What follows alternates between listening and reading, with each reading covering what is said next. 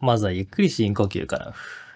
どうも、達也です。どうですか？皆さんちょっとずつね、えー元気になってきているかなと思います。えーさて、今回のお話ですけども、辛いとか、えーしんどいって、いう感情ですね。それは思っていいと、え感じていいと、考えていいっていう、そういうね、お話をしていこうかと思います。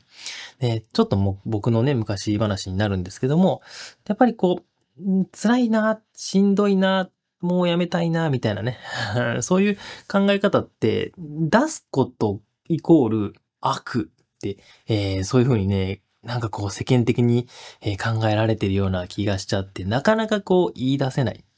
ね辛いんだよねって、なかなか言い出せない。しんどいんだよねって、えーもうやめたいんだよねって、こう、なかなか言い出せない。そういう、なんでしょうね、風潮があって、どうしても自分が嘘ついちゃう。もう嘘っていうのは、えー、大丈夫だよとか、まだまだできるよとか、まだ頑張れるよみたいな、こう、そういう嘘を、こう、やっぱり言ってしまうんですよね。で、それは、えー、自分の身近な人であればあるほど、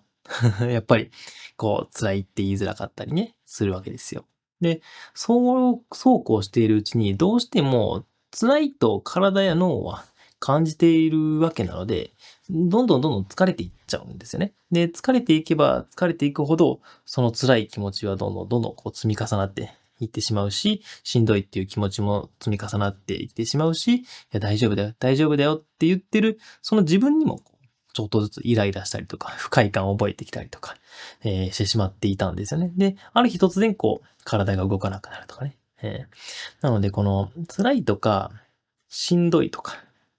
えーまあ、悲しいとか、そういう自分から出てくる世間一般的には、えー例えば男の人だったらこうね、頑張らないといけないと弱音を吐くなって言ったりするんですけども、そういうことはとは別に体の反応として辛い、しんどい、悲しいってね、もう嫌だとかそういったものが出てきているので、それをちゃんとこう自分自身で受け止めてあげて、その気持ちっていうのをちゃんと対処してあげてくださいね。じゃないと、それを続けていけば続けていくほど、ちょっとずつちょっとずつ壊れていってしまいますから。で、その、そういう辛いとか、しんどい、悲しいとかっていう、えーそういう気持ちで、こう、心がくしゃっとなってしまってから立ち直るのってね、僕の経験談になってしまうんですけども、ものすごく長かったりしますから。なんか皆さんが思っている以上に長かったりして、で、気づいたら人生の長い、長いっていう言い方あれですけども、人生の大半をこう、無駄には、無駄にって言い方もあれですけども、結構こう使ってしまったりするっていうことがあったりもするので、なので、辛い時は休んだ方がいいよねとか、えーしんどい時もちゃんとね、自分はしんどいので休みますねってこう伝えられた方がいいだろうし、ね、悲しいんだったら、やっぱ悲しいんだねって悲しいなりの行動をとってもいいだろうし、もうやめたいんだと思ったらやめたいなりの行動をとったらいいだろうしっていうその自分の体の中から出てきている、もうやばいよっていう、あの、信号だと思って、そこはちゃんと対処して、うん、投げてほしいなと思います。やっぱり、うん、真面目な人ほど、こう、なんでしょう。みんな頑張ってるよねとか。考えちゃうし、やっぱり周りの人も、ほら見て、みんなも頑張ってるから、あなたも頑張りなさいっていうアドバイスをくれたりとかね、うん、すると思うんですよ。でも、自分の中ではやっぱりもうしんどいわけですから、ちゃんとその自分の中から出てくるものをちゃんと大事にしてあげてください。で考え方によっては、ね、あの、楽しいっていう気持ちがあったとしたら、その楽しいっていう気持ちは世の中に出していいわけですよね。けど、逆に辛いっていう気持ちは、辛いっていう気持ち出てきてるけど出しちゃいけないっていう、その違和感にも気づいてほしいですね。とっても大事なことなんですけども、学校でも、やっぱり、なんでしょう、そういうネガティブなことって言わないようにしした方がいいみたいなね、弱音をあまり聞いてくれない人がいたりとか、やっぱり自分の周りにそういう弱音を普段、普段からね、こう教えてね、教えてねとか、相談してね、相談してねとかっていう人がいれば、ちょっとは変わるのかもしれないんですけども、自分の弱音を出すっていうことは、どうしても自分の弱みを出すということ。えー、だと思うので、その生き物が自分の弱みを出すということに、やっぱりこう、違和感というか、嫌悪感というか、なんか嫌だなって思うのは仕方ないと思うんですよね。やっぱこう、生きていく上で自分の弱みを知られるということはなんか怖いし、その怖いっていうのは、どうしてもやっぱり生きていく上で弱点を知られるっていうことは、ちょっと命の危険性があるかもしれないってこう考えてしまうからだとも考えられるんですけども、そういう辛い、しんどい、悲しいとかっていう世間一般で言われるある種のマイナス的な考え方もちゃんと自分の中に出てきたのであれば、それをちゃんと自分自身でこう、汲み取ってあげて、自分自身で支えてあげてほしいし、それを対処してあげてほしいし、もし、その、相談する方がいないのであれば、相談する、えー、機関にね、電話してみたりとか、えー、病院に行ってみて、その病院の中でも、いきなりお医者さんじゃなくても、そういう相談する機会、えー、そういった相談、そうですね、えー、カウンセラーの方々と話しすることもできるだろうし、そういう全然自分が知らないからこそ言えることってあるんですよね。全然知らない人だからまあ言っちゃっていいかな。そういう気持ちで、そういうアドバイス、アドバイスをもらいに行こうというよりは、自分の辛いっていう気持ちをとりあえず出してみる。で、その辛いんです、こうなんです、こういう状態なんですっていうのを話すことで自分自身もちゃんとその状況を受け入れられ受け入れられるだろうし、向こうの方はその聞くプロであるので、もちろんそういうふうなね、アドバイスもくれるだろうし、でそこからどういうふうに一緒に考えていこうかっていうこともできるだろうし、そういった時はそういう医療機関を、あの、使ってみたりしてみてください。でもちろん、この会社に勤めていらっしゃる方々も同じように、そういった機関を使ってみてください。で、そういう機関を使う、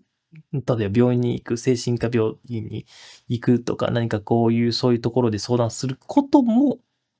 あの、マイナスに考えてしまいがちだと思うんですよ。なんか嫌だな。なんかその、弱くなったように感じちゃうなとかね、そういうふうに結構マイナスに考えがちなんですが、例えばですけども、料理をしていて指を切っちゃった。ね。あこれを、あの、今、洗ったり、絆創膏を貼ったり、消毒したりするのは、これはちょっと、なんでしょうね、情けないなと思って、貼らないっていう人なかなかいないじゃないですか。もう切っちゃったら、やばいって血が出てるし、あのね、絆創膏貼っちゃったりとかちゃんとしてした方がいいよねっていうのが当たり前なんですけども、えー、走ってて、外走ってて、こけて、足のね、膝小僧がずるっとなっちゃって、で、そしたらどうするかというと、いや、これは、あの、綺麗にしない方がいいなっていうわけじゃないじゃないですか。すぐに、あの、保健室に行って対処してもらうわけじゃないですか。ね。それと同じように、あのー、見えないだけですから。あの、メンタルっていうのは、メンタルがもしここにあって傷ついていたら、今自分の気持ちね、ここにあるんですけども、怪我しちゃって、これ怪我しちゃったので、今休みたいですって言えば、休めるだろうけど、でも見えないんですよね。でも、実際には自分の体の中や脳に炎症が起きているっていうことも考えられますから、見えないんだけども、実際自分自身として、自分自身の感覚としては、やはりしんどいとか辛いっていうものがあるので、その部分をちゃんと、えー、その部分がわかるのはきっと自分自身でしかないと思いますので、その気持ちっていうのをね、ちゃんと自分で、えー、汲み取ってあげて、えー、優しく対処してもらえたらいいかなと思いました。え、僕もそういうふうに、何でしょうね。人を頼ることとか、弱音を吐くこととか、えー、はたまた失敗しちゃったとかもそうですけども、世間一般的には言わない方がいいとか、あの、なんだろうな、えー、弱い人間だと見られがちだとか、ポンコツだって思われるようなことほど僕は結構こういう あの発信しているようにするんですけども、それはですね、出してほしいからですよね。うん。弱音は吐いた方がいいだろうし、うんと、自分の弱点というか、ポンコツ感は別に、悪いことじゃないわけですから。あの、特徴というか、うん。なんでしょう。これが得意じゃないだけで他のことはできるだろうし、他のことはね、あの、逆にできる人も、こんなことはできないのか、みたいなこともあるわけですよね。例えば、将棋ができる強い人がいたとして。でも、日常生活の中で何かすることは苦手だとか。野球がすごい上手い人がいて、でもこういうことをするのは計算が苦手だとか、えー、ボクシングもってね、そういうふうにいろいろあるわけですよね。で、そういうふうに何かこう、できるということは、そこに特化した脳があったとしたら、何かができなかったりするわけですよね。なので、こぼこなわけですよ。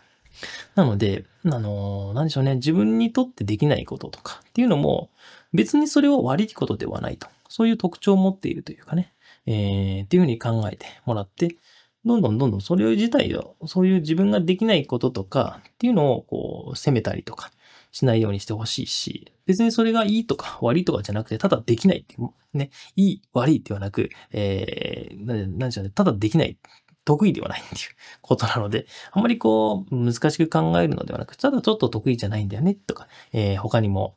好きじゃないんだよね、とかっていう風な考え方、中間ですよね。えー、01の思考ではなく、その真ん中あたりっていうの？をちゃんとこう、知るっていうことを知っておいてほしいなと思いました。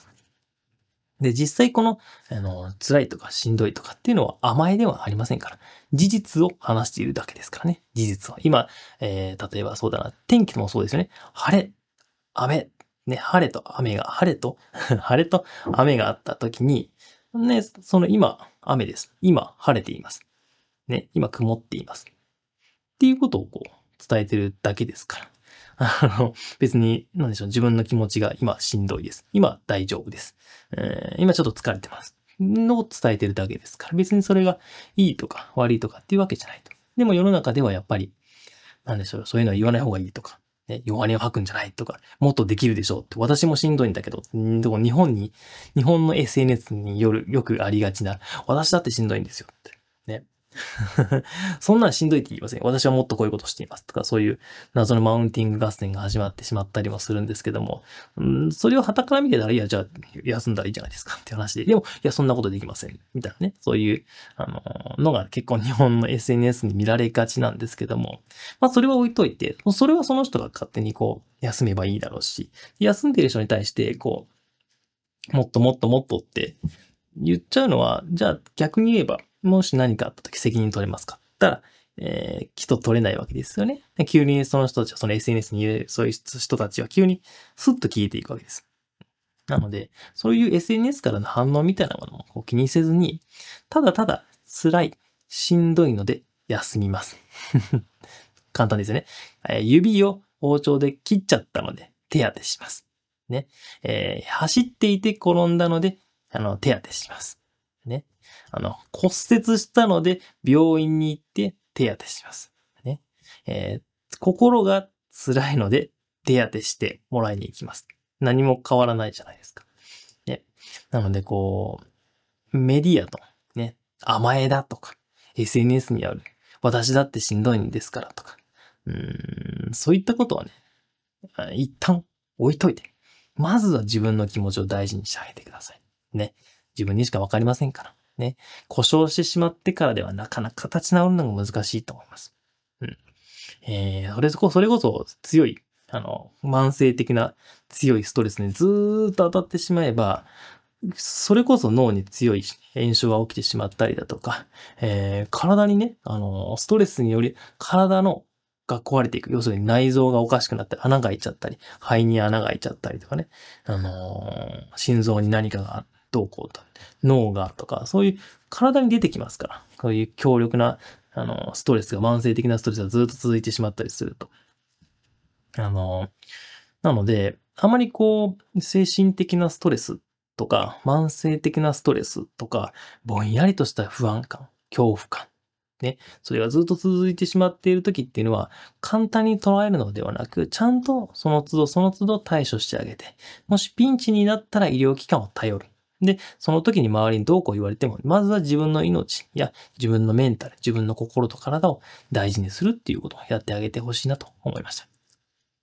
ね、えー、いつもはこう、深呼吸をおすすめするわけですけども、もちろんこういった場合も深呼吸していただけたらいいかと思うんですけども、本当にピンチになった時に、あの、人間って面白いもので脳がフリーズするというか、ショートするというか、物事考えられなくなってしまうんですよね。これ人間だけではなくて、例えば、鹿とか動物が夜歩いていて、ポッコポッコって歩いてて、車がファッと来て、そのヘッドライトにパキャッピカって光ったら、野生動物はピクってこう、そっちを見てこうフリーズして止まっちゃいますよね。ああいうのと同じように、あの、動けなくなっちゃうんです。ビクってなって。こういうのと同じです。やっぱり不安とか恐怖心を感じすぎると、脳の中にある扁桃体というところが活発化して、その結果として僕たちが物事を考える前頭葉の部分っていうのが、を経由せずに、あの、体がこう動かなくなったり、逃げる反応ですよね。闘争闘争反応って言ったりするんですけども、ファイトオアフライト。ね、戦うか逃げるかの反応になる、えー、こともあるので、そもそもとして脳がうまく、あの、働いてくれない。物事をうまく考えることもできないだろうし、うまく対処することもできない、行動もできなかったりします。そういう時は、普段から呼吸、深呼吸をしたりとか、自分のメンタルのケアをするための練習をしていたり、それを習慣化していたりしていなければ、なかなかね、あの、対処難しいと思いますので、そういった時も、ちゃんと医療機関を頼ったりとかしながらも、で、もしね、お薬を出されて、出していただけるのであれば、まあ、お薬も、こう、お医者さんと相談したりとか、いろいろこう相談しながらね、調整していってもらえたらいいと思うんですけども、えー、そういう医療機関を頼りながら、そしてこういう、あの、紹介しているメンタルケア、自分で自分にしてあげられるメンタルケアを自分でやってあげたりとか、こういう両輪でね、タイヤの両輪と同じように、二、両方使ってあげてくださいね。ねどちらかしかダメというわけではなく、えー、正解が一つというわけでもなく、やばいピンチになったらどうしようって思った時ほど、正解は一つ、脱出できる、えー、出口は一個だってこう勘違いしてしまうんですけども、えー、医療機関頼ってもいい、こういう深呼吸してもいい、瞑想してもいい、運動してもいい、誰かに頼ってもいい、えー、なんでしょうね、そういう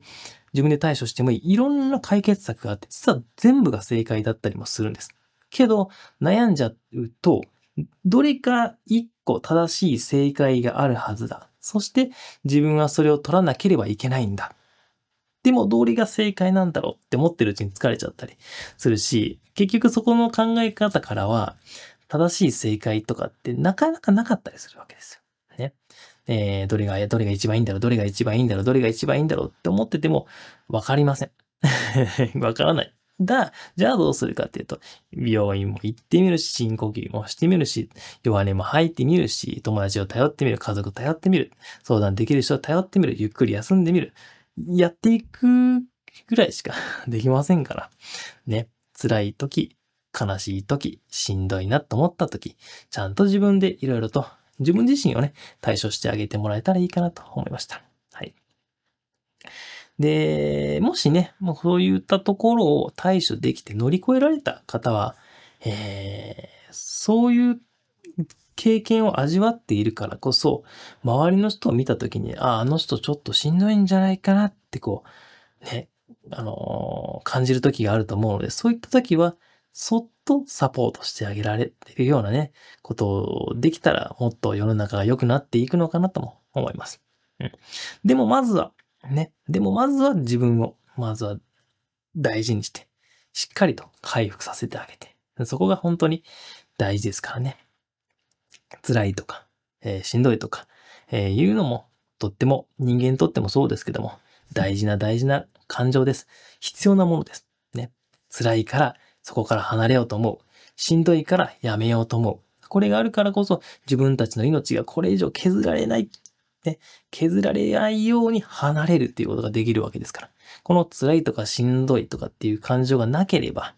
気づかない間に体と心がピシャッと壊れちゃいますから。ね。あっていいものです。あっていいものだし、備わったものですね。僕たちに。なので、ちゃんとその、うわ、しんどい、辛いとかっていうことが出てきたら、あのー、我慢せずに、えー、抑え込もうとせずに、ちゃんと、あ、辛いんだねと。しんどいなと思ったらしんどいんだねって思って、ちゃんと対処してあげる。そういったことをやってみてほしいなと思いました。はい。ね、えー、まあ完璧を求めずにね、本当に、あのー、今の世の中、いろんな人と繋がっているからこそ、えー、そういった自分の弱みを見せづらくなっちゃったりね、えー、することもあると思うんですけども、そんな時はね、えー、サクッと 相談できるとこに行ってみたりとか、えー、そこまで大丈夫だよっていう方は、ちゃんとしたものを食べる、えー、運動する、えー、しっかり寝る、ね、運動、食事、睡眠。これはとても大事です。で、これが逆になくなっちゃうと、きっと辛いとかしんどいとか急にふわっと出てきますから。ね、えー、そこを守ってあげたり、深呼吸っていう習慣を入れてみたり、頭の中のモヤモヤを紙に書き出すジャーナリングっていうのを習慣にしてみたり、日記でもいいですよ。うん。書き出すっていうことに悩みを書き出すということをやってみたり、そして自分の気持ちを観察する瞑想とかマインドフルネスの練習っていうのもやってみたらいいかなと思いました。はい。結構ね、あの、できることはたくさんありますから あの、自分に合った心の支え方、自分をつか、辛い、しんどい、と感じている自分を支える方法ってね、自分になった方法っていうのを見つけていってもらえたら、見つけられたらね、ずっと使えるわけですから。ね、今からずっと使えるわけですからね。ちょっとそれらもこう、模索しながら、探しながら、試しながら、えー、なんでしょうね、バイキングみたいな、ホテルのバイキングみたいなのに同じように試し食いしながらね、これはもう合わないな。合わないな。美味しいっていうのと同じように、合うのがきっとあるはずです。そして、もしかしたら全部美味しいかもしれません。なので、ちょっとずつね、えー、始めることっていうのをやってみてくださいね。さて、今回もですね、えー、深呼吸を、えー、10回やってお別れしようかなと思います。やり方はとても簡単で、口から息をふーっと吐きます。まずね。で、そして鼻から息を吸って。口から息をゆっくりと長く優しく吐きます。そしてまた鼻から息を吸って。これを10回繰り返します。えー、口から息をゆっくりふーっと長く吐くということだけ覚えていてくれれば、あとはゆっくり深呼吸する感覚でやってみてください。ゆっくり長く吐くということでリラックスできますからね。それでは一緒にやってみましょう。まず口から息を吐いて。鼻から息を吸って。口から息をゆっくりと長く優しく吐きます。一回。鼻から息を吸って。口から息をゆっくりと長く優しく吐きます。二回。鼻から息を吸って。口から息をゆっくりと長く優しく吐きます。3回。鼻から息を吸って、口から息をゆっくりと長く優しく吐きます。4回。鼻から息を吸って、口から息をゆっくりと長く優しく吐きます。5回。鼻から息を吸って、口から息をゆっくりと長く優しく吐きます。6回、鼻から息を吸って、口から息をゆっくりと長く優しく吐きます。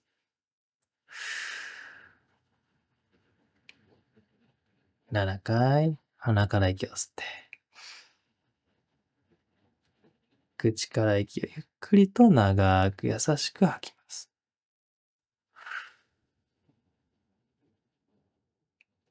8回。鼻から息を吸って、口から息をゆっくりと長く優しく吐きます。9回。鼻から息を吸って、口から息をゆっくりと長く優しく吐きます。10回。おまけにもう一度、鼻から息を吸って。口から息をゆっくりと長く優しく吐きます。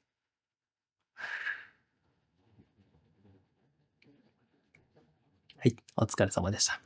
えー、今ちょっとリラックスできていると思います。そのちょっと今リラックスできている、えー、感覚っていうのをちょっと、えー、今観察してみてくださいね。そしたら自分がリラックスできる。ね、深呼吸をしたら、あ、こういう風にリラックスできるんだな。リラックスできた時の体の感覚ってこういう風なんだなっていうのが分かると、それをどんどんね、今後再現できるようになっていけると思います。で、そうやって、えー、辛くなった。じゃあ深呼吸しよう。ちょっと楽になった。えー、自分でもこういう風に対処できるんだなっていう風に自分を支える技術として深呼吸っていうのをどんどんどんどん使いこなしてみてください。そしたら脳が学習してくれて、どんどん深呼吸をするということ、そして不安や、えー、それこそしんどい、辛いっていう感覚を自分の中で対処したり、処理したりね、するのが上達していくと思います。けれども、あの、無理をせず、無茶をせず、本当にしんどいなと思ったら、ちゃんとそういったところに相談してみてくださいね。えー、ではまた、この場所でお会いしましょう。またね、ちょっとずつ良くなると思います。大丈夫です。大丈夫です。まずは、生きることを優先してみてください。ではでは。